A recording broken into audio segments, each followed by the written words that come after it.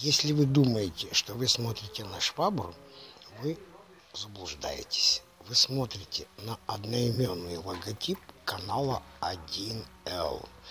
Это импровизация, авторский проект. Спасибо вам.